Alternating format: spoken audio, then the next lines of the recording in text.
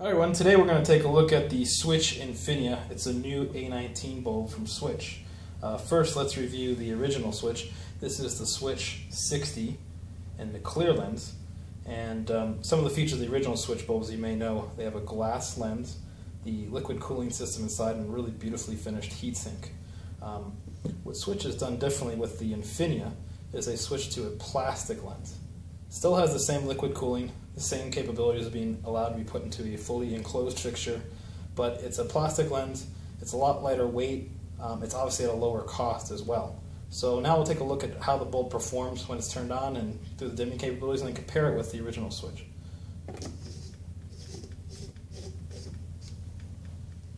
So as you can see, it's a, a frosted lens and it's uh, just as bright as a 60 watt incandescent, dims very smoothly.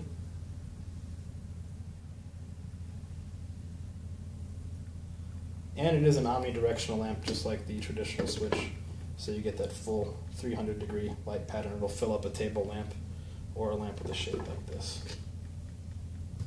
Now let's compare the Switch 60 to the Switch 60 Clear, just have a side-by-side -side demonstration. Okay, so here we have the Switch Infinia, and it has a frosted lens, of course. This is the Switch 60 in a clear lens, just to kind of show you a, a comparison of light output between the two.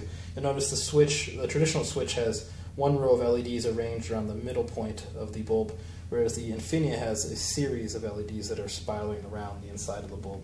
Um, you can watch how they both dim.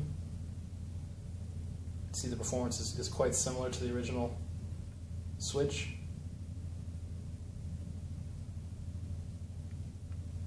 They both have very nice dimming. The Switch Infinia is available today. It starts under $20 for the Switch 60 watt equivalent Infinia, and the 40 watts even lower than that. Um, we also still have the Switch Classic in stock as well. But uh, that's, that's the introduction of the Switch Infinia. Uh, more to come with a full product review later on.